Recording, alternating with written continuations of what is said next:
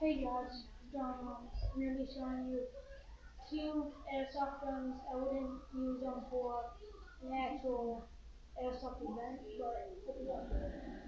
First airsoft gun is a Springer M16. Now, I know it's a spring gun, but you can still put a red dot sight scope, whatever, and you can put a bayonet on it. And if why the stock isn't on it, because this gun's really long, so I actually took it off so it's more easier to move you around.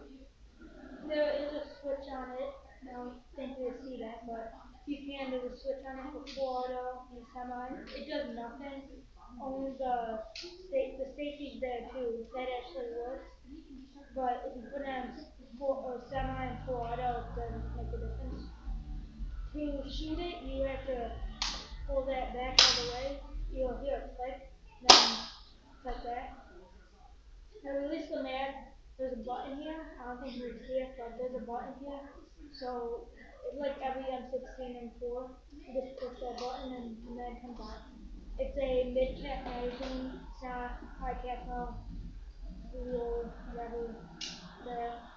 To load it, you open that, pull the BBs in, and there's a little slide here. You have to pull this down, and then just shake it upside down, and it should go. You want to dip this gun? I would recommend it for if you're just starting, because it's really, it's 420 FPS. Or if you're having a backyard room, I mean, I, don't know what. But, um, um, if you want to know what this is, it is a DP, DPMS. So it- it's the brand's DPMS, DPMS Panther.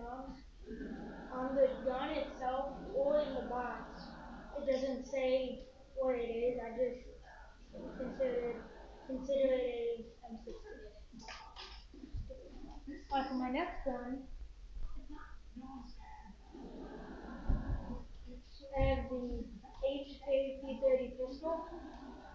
The I don't know what the brand is because when I bought this gun, I just got an airsoft and I didn't really care what the brand was, but I don't know what it is. It's electric below that. There's a switch here for semi.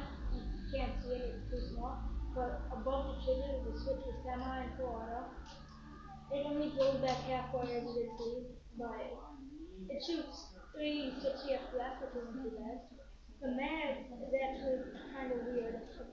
It's this, but it holds 18 rounds, so it doesn't matter. That goes in the front of the handle, just plug that in. The batteries go here. Um, there would be, there will, when you buy it, if you buy it, there will be a hatch here. But I accidentally dropped mine, and the hatch broke off, so I can't use it anymore. Um, as you can see, you can't remove the bump cap because it's too far back. And, um, because it's too far back.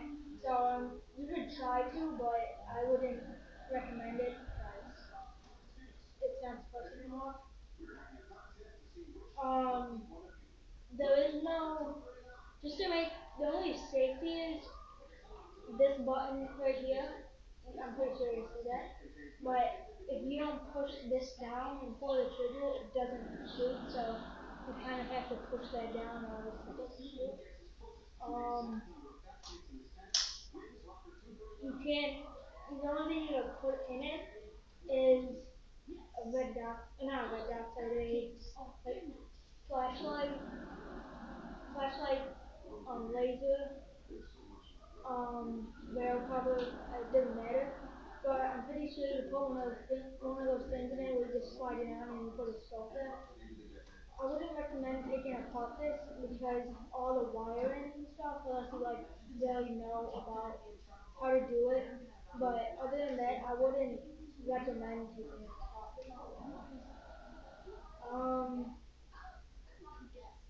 that is it. That's it. So, um, I was so in my next video, I will either be doing my shotgun or my gas blowback 1911. I might do my sniper, but I, I'm not sure yet. I'm getting a report of my Xbox, so I might um I'll be doing more game videos.